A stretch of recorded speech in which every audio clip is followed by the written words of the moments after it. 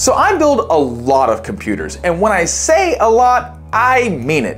And because most of the hardware or computers that I purchase were bought secondhand, sometimes there's just pieces inside each one of them that I don't want to use. And because of that fact, I have a very large amount of excess inventory that I've just accumulated over this past year.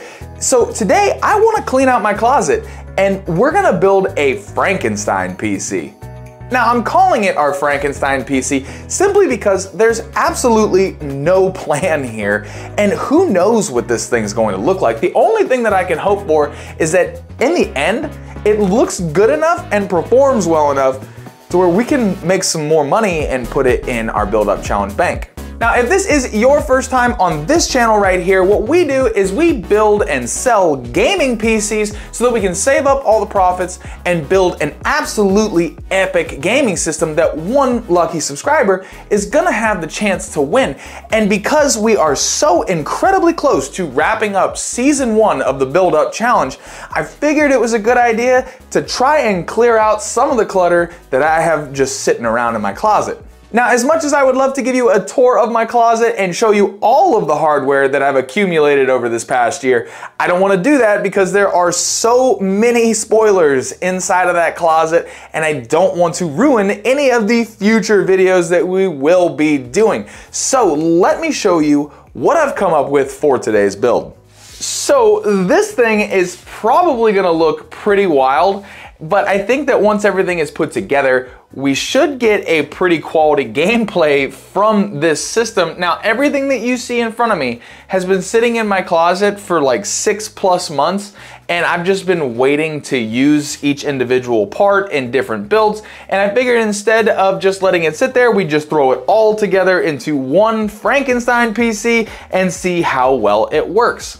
Now, as far as the specs go for this system right here, it is going to have an i5 4690K CPU, and it will have a GTX 980 Ti liquid-cooled graphics card. Now, I got that graphics card like the day we moved to Florida. Some guy was selling it for 50 bucks, and man, $50 for a 980 Ti is pretty good, but a 980 Ti that's liquid-cooled, yeah, I had to go get that one. Now our i5 4690K CPU is actually sitting inside of the all-white motherboard that we spray painted in the Can We Spray Paint a Motherboard episode that we did a long time ago. And this board has been sitting in my closet for the longest time, just staring at me, and I always loved how this thing looks, and it's, it deserves to be put in a build. So we're gonna be putting it in our build here today.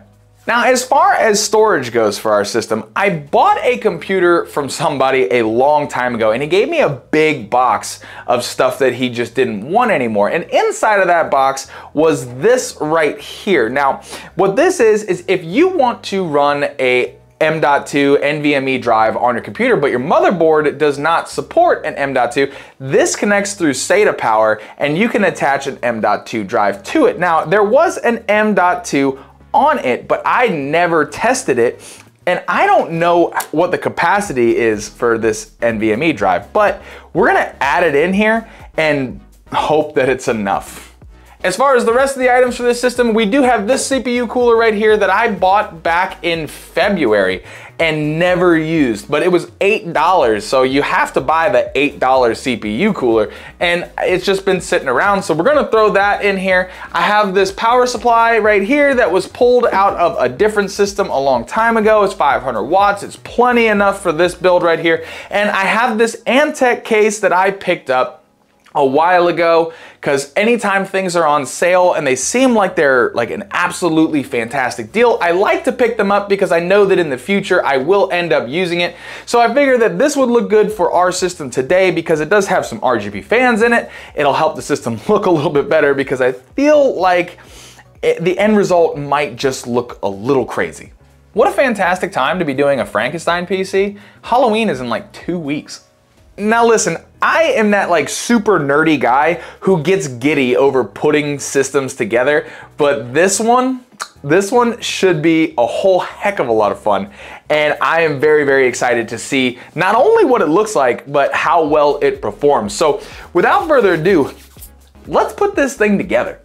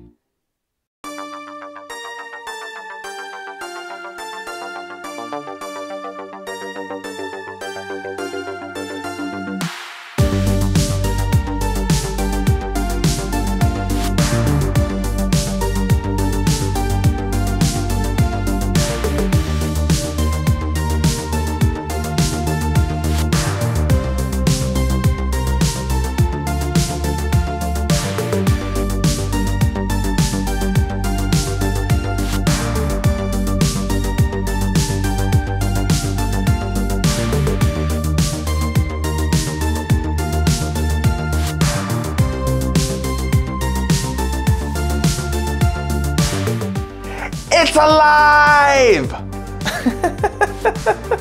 and the gameplay was actually pretty shocking because I did not expect this system to perform anywhere near as well as it did. So to kick us off, I wanted to take a trip down memory lane and play some Metal Gear Solid 5. And at maxed out settings, we were able to get a smooth 60 FPS. In Call of Duty with high settings, we captured an average of 88 FPS. And when I felt like we needed a little bit more speed in the video, I played Forza 5. With VSync on, we were able to get a steady 60 FPS. And when I turned off VSync, we were able to hit 105 FPS on average. And because those three games were shockingly impressive, I had to try out God of War because I just needed to see how well this system would handle it. And handle it, it sure did getting us a smooth 64 FPS on average with settings set to high.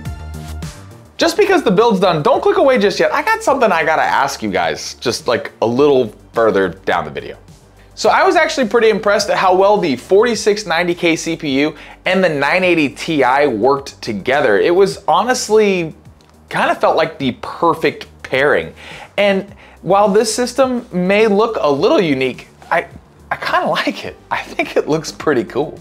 So the CPU cooler that we put in here is actually like so much smaller than what you usually find when you buy CPU coolers. And I was a little concerned that temps were going to get, get out of control because it's just so small and that was incorrect because out of all the gameplay that I did, the max temp that this CPU hit was only 47 degrees.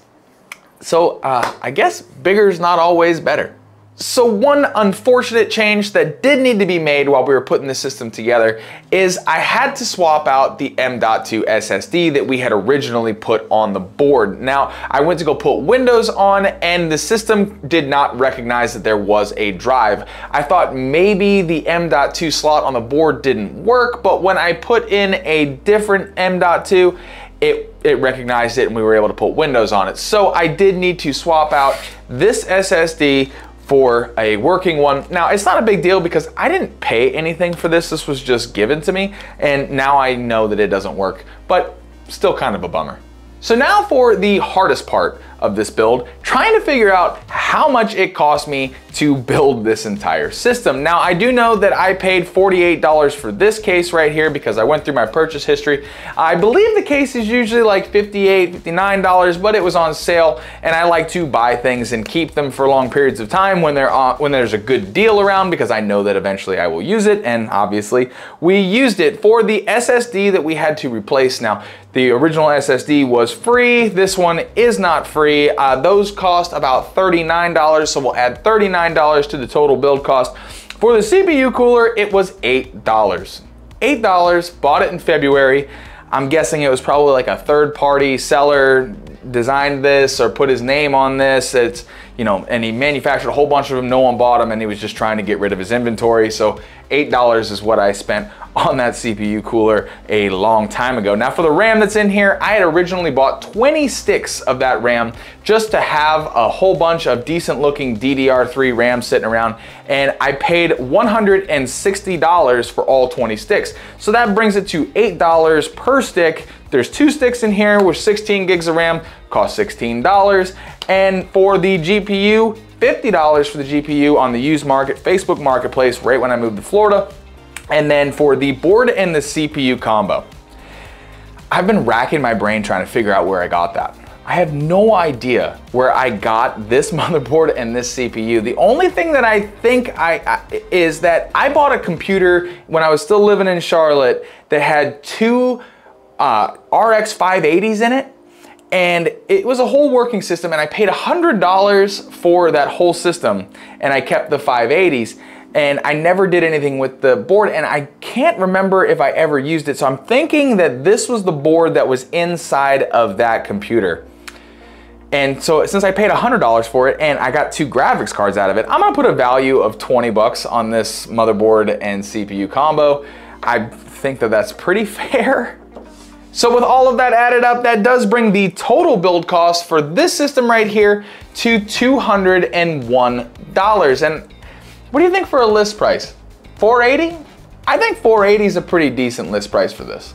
So let's go ahead and talk about some real money for a second. Specifically, the amount of money that we have to spend on the system that one of you guys will have the opportunity to win. Now, at the end of last week, we did have $1,337 in total bank. And after we factor in the $201 build cost for this system right here, we are left with $1,136. But thankfully, the computer that we built in episode 11, that all white gorgeous computer has finally sold. Now, it sold for a little less than what I wanted to get for that computer, but it did sell for $600, which is gonna bring our bankroll back up to $1,736, and we still have three computers for sale. The last episode that we made, the all black and blue computer, that one is listed for 580. The computer that we built, I think it was episode 12, that computer is listed for 380 and now this system right here for 480.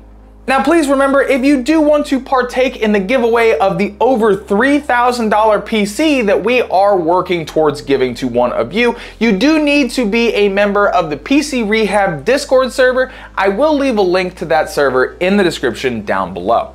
But now that we're on the topic of Discord, the other day I asked everybody in my Discord server what their thoughts were on the 13900KF CPU. And an overwhelming amount of people said that they would prefer to see an AMD CPU inside of the giveaway computer. And that left me curious if that's how everybody feels. So in the comments section down below, cast your vote on if you're an AMD fanboy like myself, or if you would prefer the giveaway computer to be an Intel system. But while you're down there casting your vote, I just wanted to tell you that no matter where you are in the world, I hope that you're having a fantastic day and I'll see you in the next video.